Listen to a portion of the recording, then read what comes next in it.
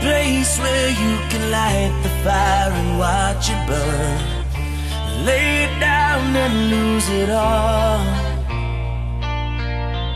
It's taken me so far beyond the point of no return.